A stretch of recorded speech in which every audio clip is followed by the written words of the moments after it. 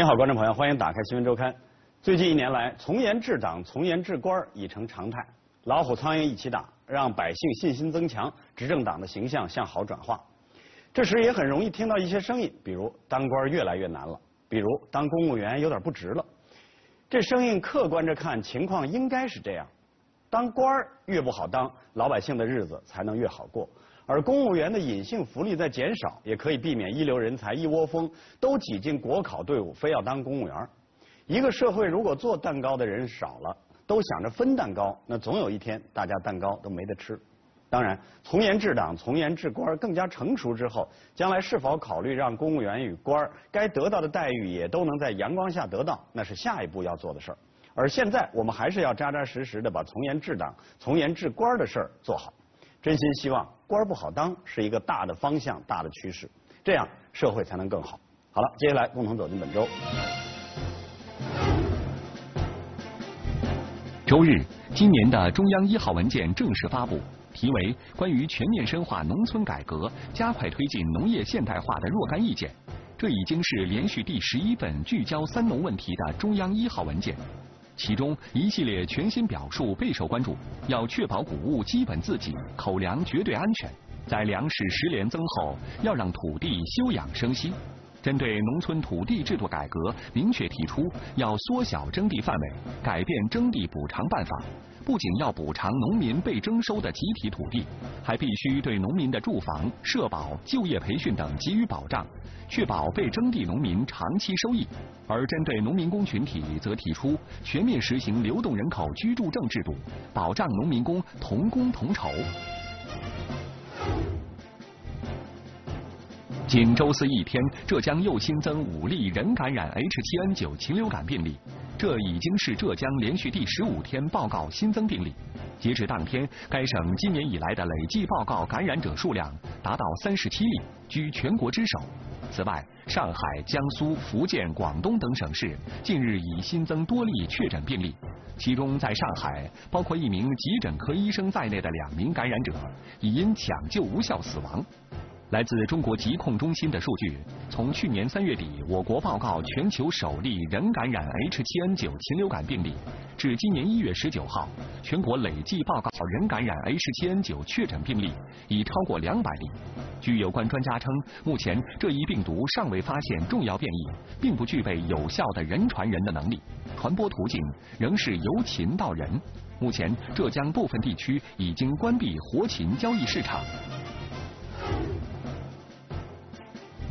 本周，公安部发布数据，自去年展开针对乱办证、办证难问题的清理整治工作以来，已经发现和注销重复户口已多达七十九万个，同时查处了一批违法违纪人员。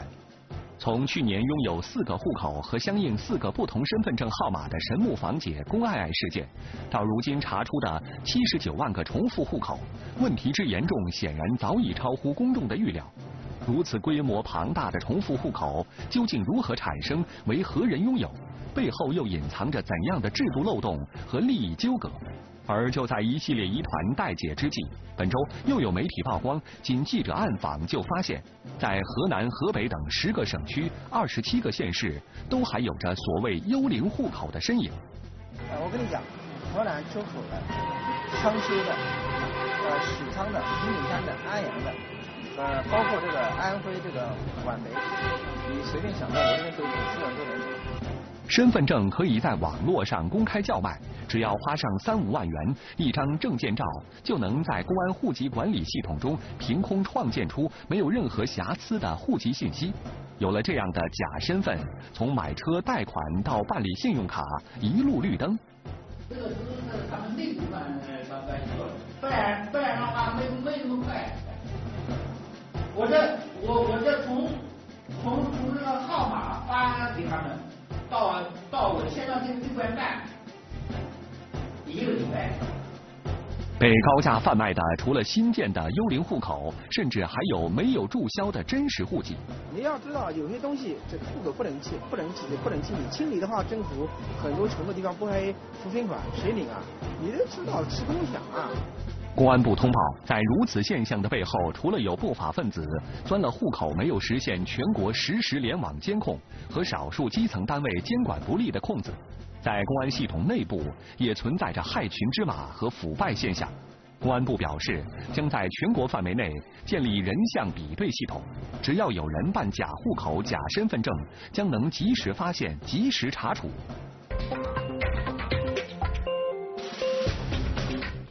今年的除夕、春节在一月份，于是元旦一过，人们就似乎闻到了浓郁的年味儿。这年味儿是以急匆匆的回家脚步开始的。有钱没钱回家过年，交通部门也自然需要提供不同层次的回家方式。从本月十六号开始的春运，今年预计将有创纪录的三十六点二亿人次的客流总量，平均到每个中国人头上，一人得出行三次。当然，这惊人的三十六点二亿人次比去年又增加了两亿人次，而在其中，铁路只承担着大约二点五亿人次的回家路，剩下大多是公路和短途。而之所以一想到春运回家就想到铁路，是因为它承担着大多数中远途中国人的回家之路。如果火车票依然一票难求，那么回家的路就不会顺畅。新闻周刊本周试点关注：我要回家，我要票。您好，请问需要什么帮助啊？我有个姐姐，她是坐十四号特幺八八沈阳北到深圳的，特别着急。张楠是幺二三零六沈阳客服中心的客服代表。从一月九号春运售票开始，他和五十多位同事每天几乎都要工作十七八个小时，每人一天要接听近五百个电话，为旅客提供车票查询、求助、咨询等服务。我嗓子有点渴，我实在是忍不了了，接点水吧。幺二三零六是铁路客户服务中心的客服电话。从二零一一年设立至今，每到春运期间，电话量会比平日增长数百倍。高峰时期，一条线路上有五十多个电话在排队等待，其中很大一部分是谩骂和指责，而发泄的内容是张楠根本无力解决的买票问题。那个电话我也整不明白，卡里边提了出一串串，也不知道是些什么东西。你给我盯上呗，奶奶。您认真的听一下语音提示，很好操作的。不是铁路的客服吗？那铁路客服不不不给您的服务吗？你给我整上票呗。订票就是要由旅客自行操作的。那你那你那你能干什么？那你能干什么？铁老大曾经的强势和风光，张楠完全感觉不到。他的工作就是在无尽的重复和解释中，尽量让乘客理解和接受买不到票的现实。没有买到车票，他就比较抱怨，然后挺郁闷的情况下喝了点酒，找咱们发泄一下。旅客还说啊，我车票没买着，你们铁路怎么怎么样的，啊还想要砍死我。咱们有些客服代表都会就是觉得委屈，偷偷都会掉眼泪。今年是铁路总公司成立后的第一个春运，能否应对市场化大考的期望，很大一部分寄托在了幺二三零六电话和网络服务系统上。二零一一年上线以来，幺二三零六网站几乎逢节必瘫，系统不稳定，操作不够人性化，也一直为人诟病。今年新版的春运网络购票增加了自动刷票功能，开通了多种支付方式，优化了退票取票流程，甚至还推出了手机客户端。改进之余，却依然经历了网页故障、黄牛抢票等问题。面对人数再创新高的二零一四春运，新成立的铁路总公司表示，一票难求问题会逐步得到缓解，但没有明确时间表。对于这个表态，新华网评论称，给出解决春运一票难求的时间表，既超出铁路部门能力，也不一定是民众真正的预期。人们真正期待的是逐步透明的票务机制和越来越人性化的购票体验。不不，这个铁路总公司这个政企分开以后也有很多变化，比如说它这个幺二三零六，比如说它电话订票，比如说这今年的，特别是今年的农民工可以提前买票，是吧？提前五天买票，开了很多临客的车，所以它就更注重这个一些服务了嘛。根据网站后台数据，今年的售票高峰日那天，幺二三零六网页点击量高达一百四十四亿次，平均每秒的点击量超过二十四万次。当天，全国售出了八百七十一万张火车票，其中网购占了百分之五十七点五。更便捷、更公开的网络平台，不但占据了预售日期的优势，也让熟练运用互联网的人群拥有了更低成本、更快速度得到车票的能力。票给我订好了，那我什么时候去拿呢？你不懂的可以详细的问一下，他告诉你。如果在那里买票的时候哪里有时间，你有什么不明白的地方，他也没时间跟你说呀。有什么样的票，我们就跟他介绍，尽量帮他选择一些时间比较合适的，就是最利于他出行的。车票是多少钱，我们就收多少。然后我们这个活动是自愿的，就是完全没有任何的手续费。当电脑前的人们收拾起行李，准备奔赴车站时，很多农民工却被这道鸿沟拦在了外面。他们没有电脑，更不会使用网银，也承担不起动车或高铁的高昂成本。如何解决这个群体的回家问题，成为考验春运的重要指标。去年，铁道部的牌子摘了，变成了铁路总公司与铁路局。从某种角度说，这个共和国长期政企不分的铁老大已经分拆成小政府和大企业的结合。而今年的春运更是被称为铁老大政企分开之后的第一个春运，这考试也因此与往日有了一些分别。其实从硬件上的角度说，目前中国铁路营运里程已经超过十万公里，绝对的世界超级铁路大国。硬件的发展让应对春运的底气有所增长，而互联网购票等新手段也快速发展，但毕竟依然处在转轨期。看着陆续有大学生做志愿者去帮农民工网络买票，就知道让习惯了窗口购票的农民工兄弟走进互联网时代，还不是一天两天就能够立即做好的事儿。除此之外，还有怎样的路？还有怎样的回家方式呢？对，一说呢？我们有三人。为了买到一家三口过年回老家的火车票，这几天李志彪总往售票点跑，原定这个月二十三号赶回江西九江的老家过个小年，可现在连春节能不能回去都是未知数。嗯，我是零九年来北京，最后就买了这辆货车，完了就自己自己开始干，刚开始就是卖菜吧。他一般每年都回去，就有一年赔本了，嗯，没回去。家里人说，他说你不回来怎么行？家里有孩子，就是说两个人老人带小孩子，在这老家也确实不容易啊。四十二岁的李志彪离家在外打工多年，为了春节回家与家人团聚，他有过通宵排队买票的经历，也曾买站票回家，但他没想到。今年火车票格外难买，反正提前大概好像也就是二十天吧。那阵儿我正忙，叫我们家孩子去去去买的。他去问没有，就就回来了。啊，听他们说就是说网上把票都抢光了吧。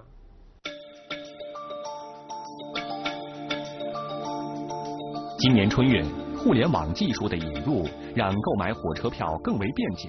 网络购票、移动支付、专业抢票软件，当一票难求的车票进入网络抢票时代，仍然以传统窗口排队购票为主的农民工，面临比以往更严峻的购票形势。因为感觉那样买的放心一点呢。再说网上买也不会，不大会。他们没有电脑，他们也不会网上去抢票。所以说，他们买火车票是非常艰辛的。然后我们就决定下来，今年我们春节回家顺风车重点就是帮助这些留守儿童的父母。就在上周四春运大幕开启首日，二零一四春节回家顺风车公益活动在北京正式启动。这个由多位知名主持人、公益人士等共同发起的活动，今年联手腾讯等技术平台。希望能助力十万人回家。我们的这个呃这个农民工朋友准备了像短信这样的非常简单易行的这种方式，就是非常的简单，你只需要发送数字六六到幺零六六九五八八零零就可以了。就是我我是趴活的，完了没活的时候，别人就找找报纸看看呢。哎，我那天那那那人拿着报纸，我就无意间看见了，哎。这这这这上面有有顺风车，完了回来就查一下。抱着试试看的心态，李志彪发了一个短信，没想到顺风车平台很快为他找到了匹配的车主，他们都是准备二十五号从北京出发回江西九江。李志彪和车主取得了联系。完了，他说你们几个人呢？我说我们三个人是一家的。他说他就说，哎，我们这边只有一个座位。回家心切的李志彪希望再次落空。事实上，二零一四年春运拥有了运力之最。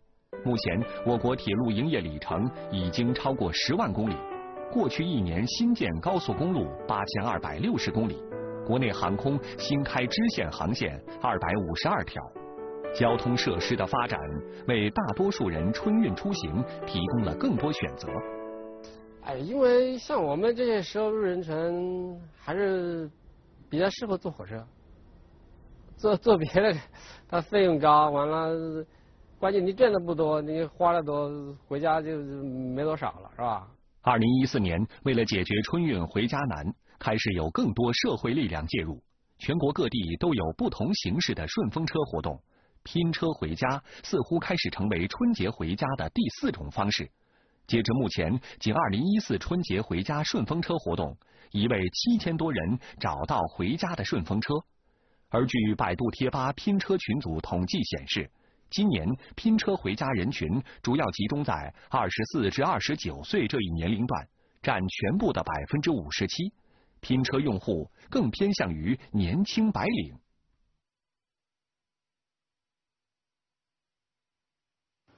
从铁道部变成铁路局加大的铁路总公司，从外表看政企分开了，但是真的以市场为配置资源的决定性因素，刚下海的铁路总公司估计还有不少要学的。然而口气上却有了点让人赞叹的松动。过去每到春运，都常听到哪年哪年我们一定把这个一票难求的事儿给解决。可是年年盼望，年年失望，后来人们就习惯把这话当作笑话来听了。但是今年，在硬件快速提升的前提下，铁路总公司反而表态，解决一票难求没有时间表。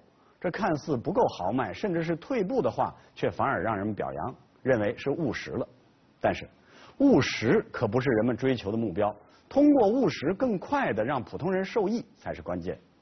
在本周，出自广州铁路运输法院的一份案件受理书引人关注。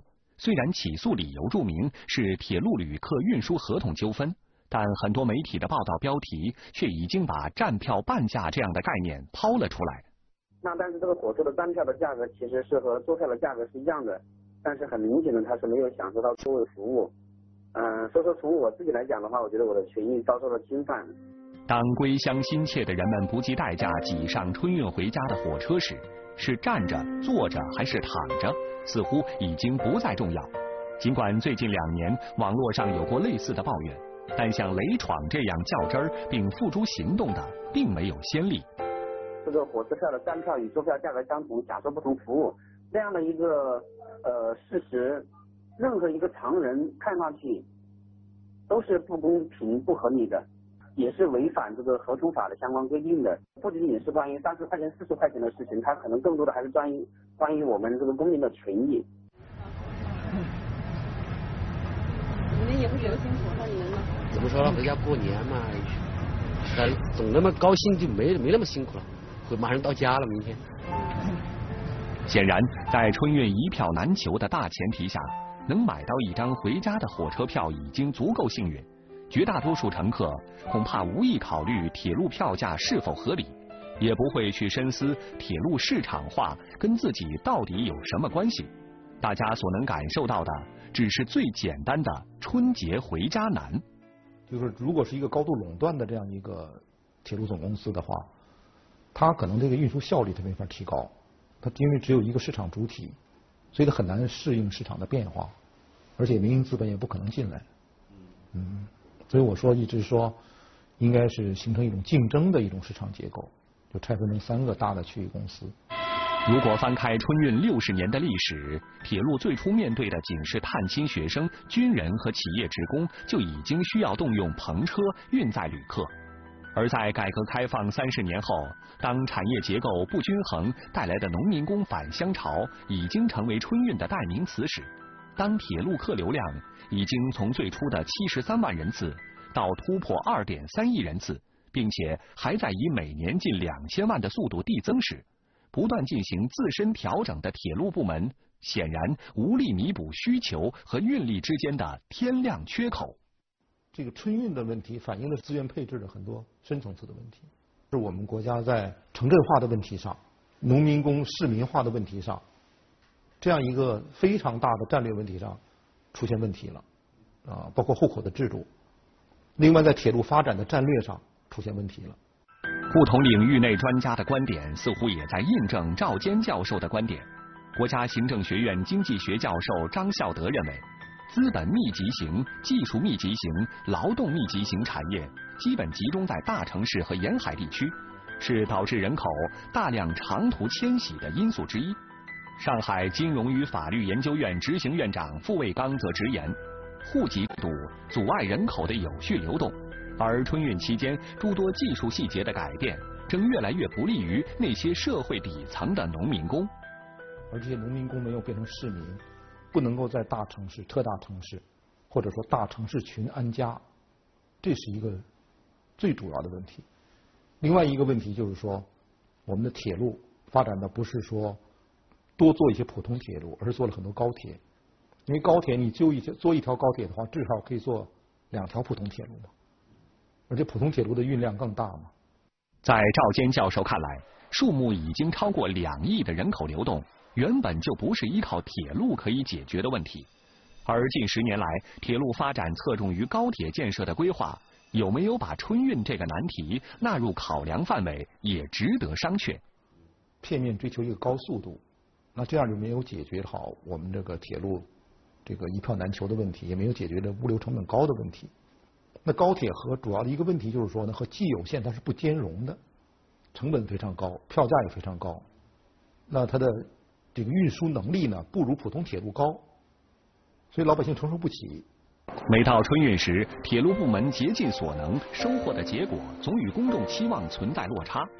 幺二三零六网站和电话订票开通，农民工可以提前五天买票，增开临客，提高运力。铁路部门逐年提高的服务意识，以及向低收入人群政策倾斜的公益理念，不该被抹杀。但核心问题究竟是什么？又该怎样解决？春运中的我们在路上，铁路改革同样如此。一个是划清楚政府和市场的关系，政府和企业的关系。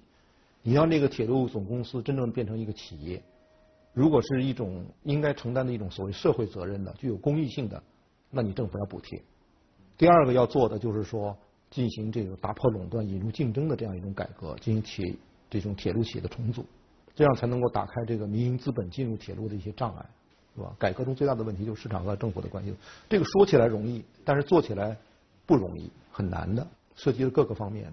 你国家你要掏钱，要承担责任的。看着春运永远在增加的人潮，有一个对比的数字很有意思。刚进入八十年代，春运的旅客人数是一点二一亿人次，而三十年后的今年，这个数字变成了三十六点二亿。将近三十倍的人次增长，放在全世界，这都是个惊人的现象。一方面说明中国内部早已经打破封闭，人们行走生活的半径大大增加；另一方面，也说明春运面临着任何国家都不可能面临的挑战。短期看，未来几年，这个数字依然会是年年在增长。这考试还会年年出题，年年增加难度的往下考。面对它，没其他方法，只有好好复习，提高自身能力，但愿考分越来越高。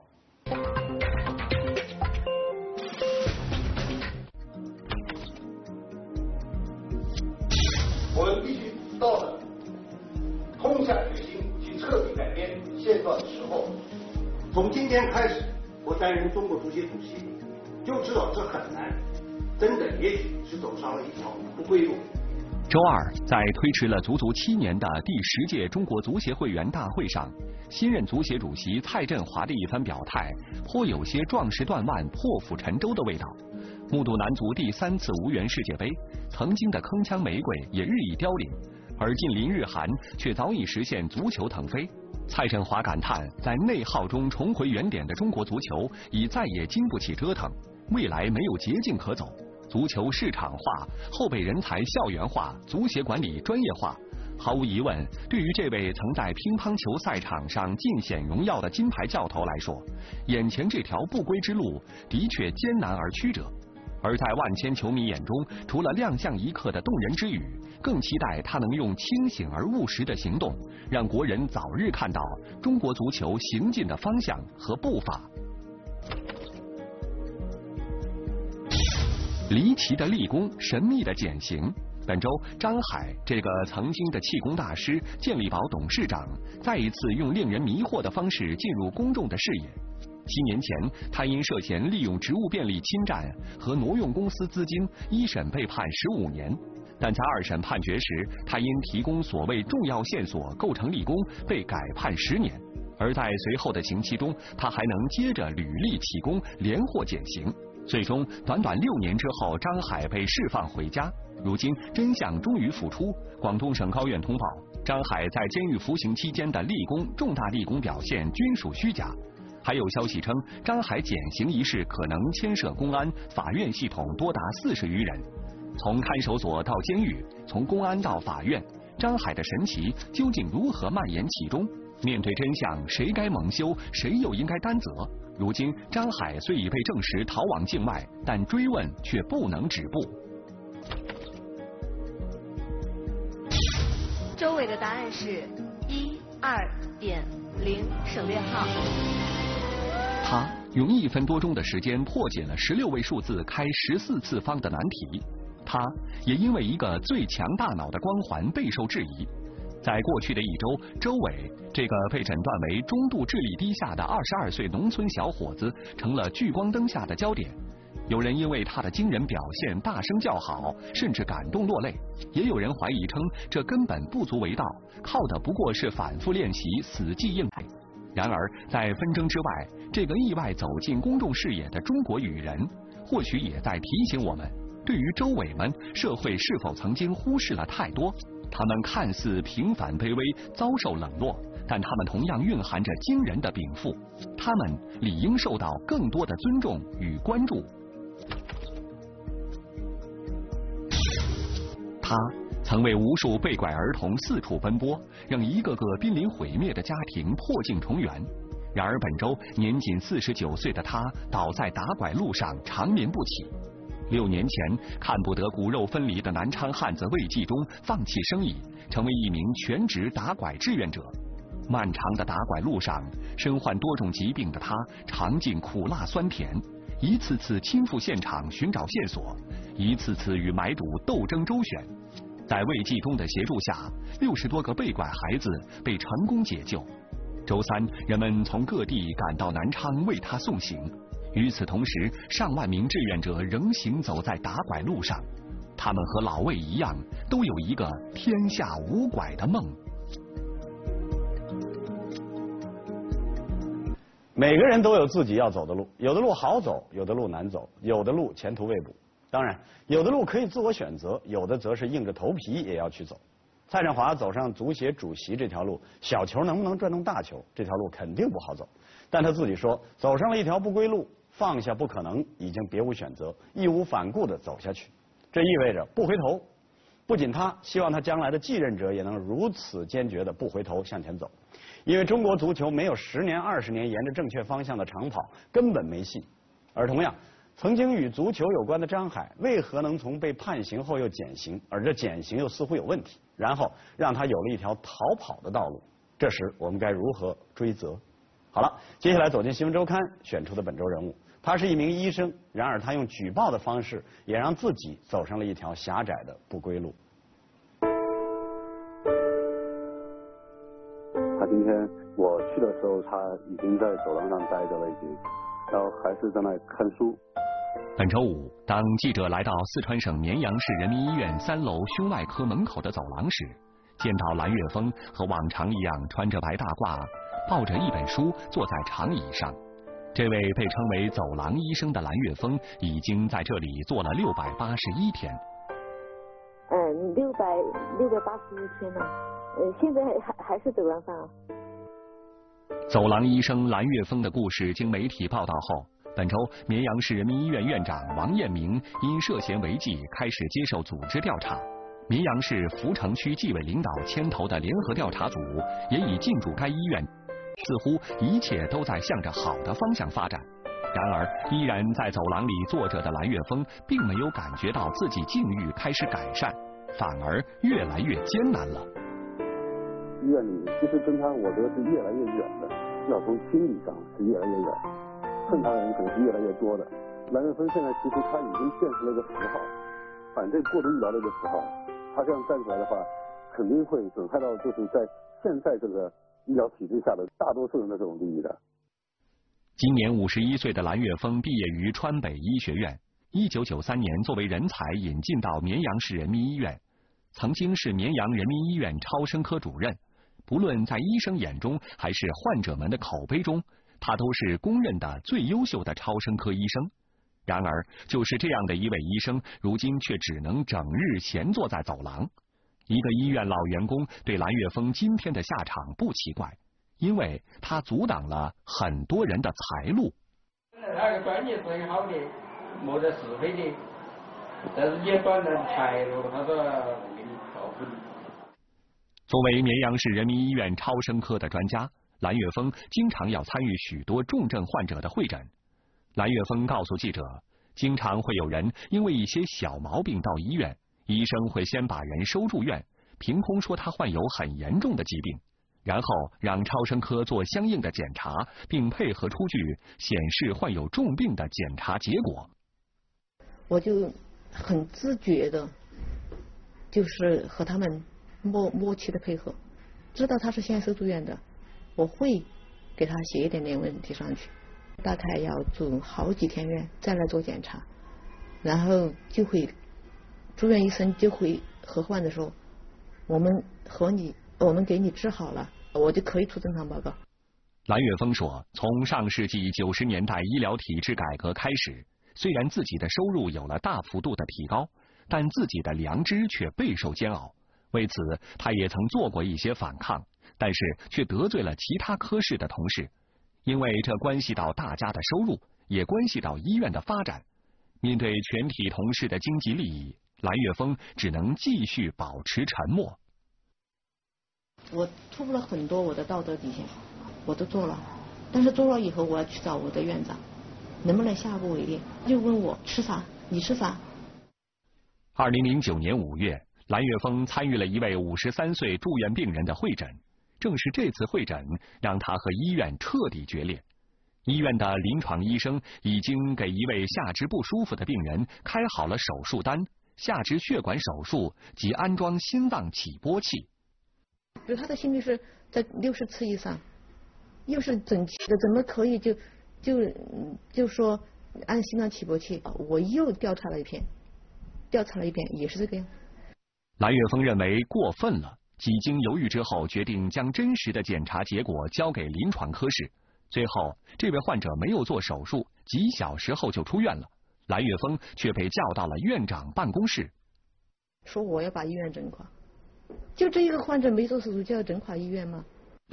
除了抵制医院的过度医疗，眼里容不得沙子的蓝月峰又发现医院的彩超购置中存在腐败，并向有关部门举报，这令他和院方的矛盾骤然升级，达到了白热化。他被免去主任职务，医院更写出蓝月峰砸医院的牌子，医院就应砸他的饭碗。蓝月峰在医院被几次免职复职后，最终被赶出了办公室。蓝月峰说：“二零一二年三月十五号，院方把他的办公室换了锁，从此他再未踏进过一步，成为一名走廊医生。”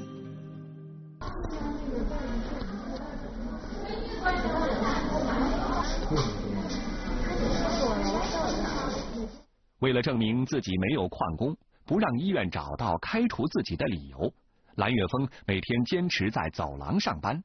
渐渐的，蓝月峰的名字在同事们嘴里变成了蓝疯子。医院为了证明他的不正常，还找出他曾经在病人的化验单上写：“请呼吁绵阳市人民医院是全国最差医院，无法无天。”写了绵阳市人民是全国最差医院，我并不是想和他们战斗，是向他们整改。在蓝月峰坐在走廊上上班的六百多天里，这些昔日的同事每天无数次的在他眼前来回走过去，几乎没有人和他进行任何交流，甚至连眼神的交流都没有。为了证明自己没有精神病，蓝月峰甚至两次到精神病医院进行检查。我不知道为什么那么多人说我是疯子，我就觉得还是要证实一下。就在蓝月峰和绵阳市人民医院的斗争中，同在一所医院的丈夫承受了更大的压力，甚至患上了抑郁症。蓝月峰最终选择和结婚二十四年的丈夫离婚。受不了，任何人都受不了。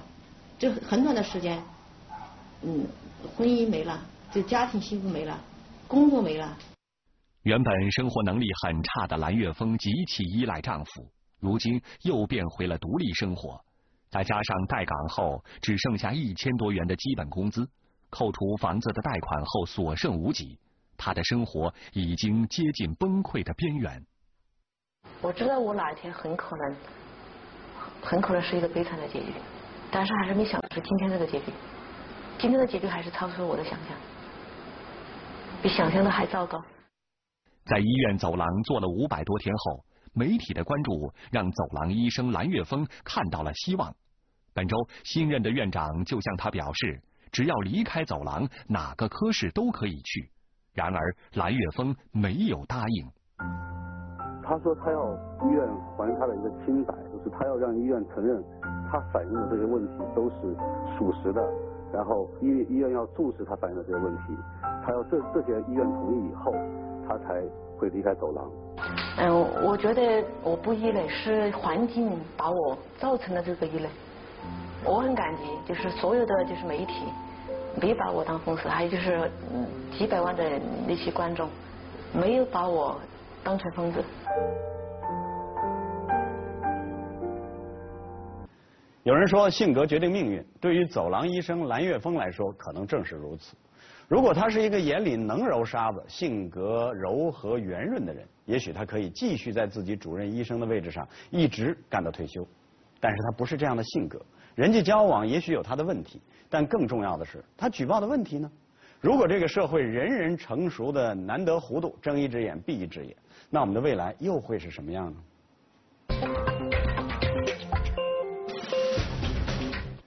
这周一过，下周咱们就过年了。在这里，新闻周刊也要提前给您拜年，祝您在新的一年里马上运动，马上健康，马上快乐，马上幸福。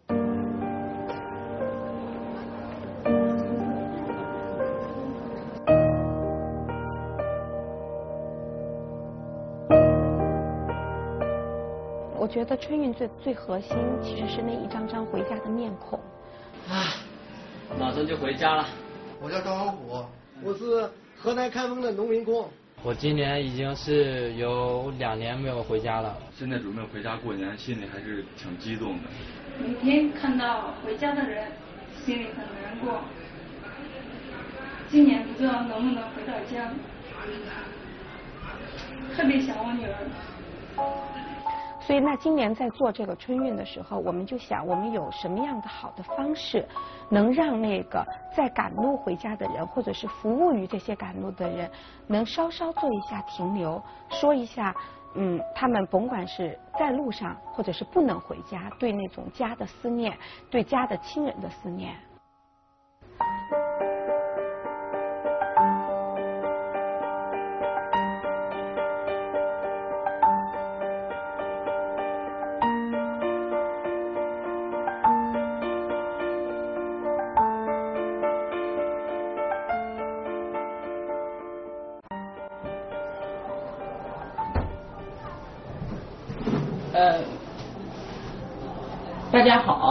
姓陈，呃，我是来自江苏徐州，成家以后就在沈阳开始打拼，每年只能回家一次去看望父母，然后那个父亲呢也是前几年病逝了，嗯，只有老母亲在家，然后那个老母亲到我这边来也不太适应。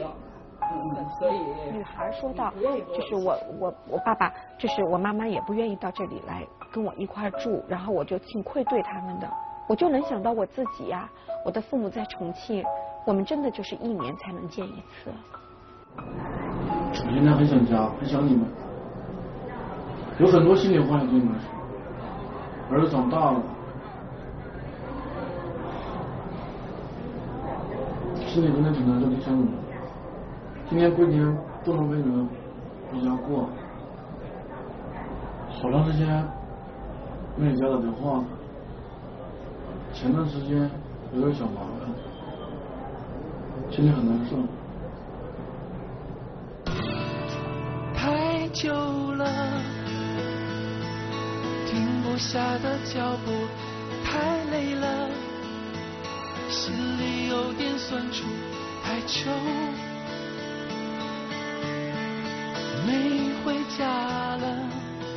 我们现在中国人有多少人不是住在自己户口所在地？那有多少人是在外地求学？有多少人是一年到头在外面挣钱？爸爸都是回家没人在里，爸爸反正感到很内疚。明年吧，明年爸爸再来看你吧，啊，姑娘。我想在他的脸后面有一百多个中国人想说同样的话，只是没有机会或者是没有勇气。所以想念的还有家中的老母亲，七十多人。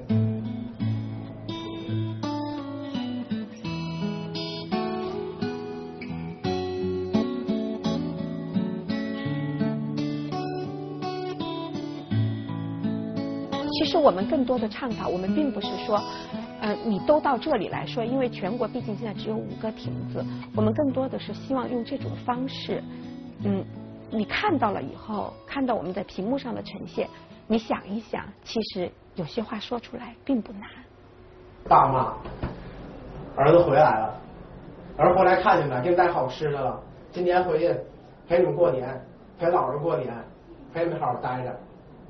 唉，又是一年，儿子在外面挺好的，你不用担心。今晚上儿子就回去吃你们亲手做的菜，陪你们唠唠嗑，说说话。儿子回来，等儿子。